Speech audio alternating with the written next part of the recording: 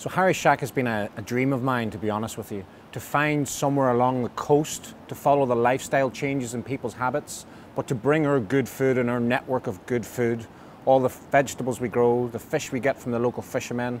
We just wanted a stunning location for that. This site here in Portstewart Strand has to be maybe the most beautiful site along the north coast and certainly for a restaurant.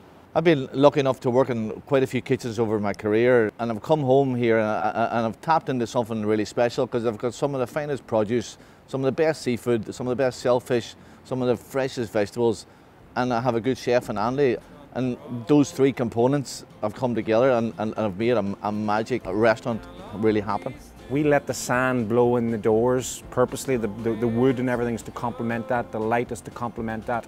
So we wanted this to be slightly fun, super casual, super welcoming for all ages. People are, are wanting something really fresh, they're wanting something non sort of fussy food. Champion as well, like the likes of Plaice and Megrim soles and, and mackerel, we're making those simple things really, really special and people are really responding to it. The way people have worked together, supported me, the way the National Trust believed in me and trusted in us with this site, uh, I do feel very privileged and very lucky and I get to look out at this every day.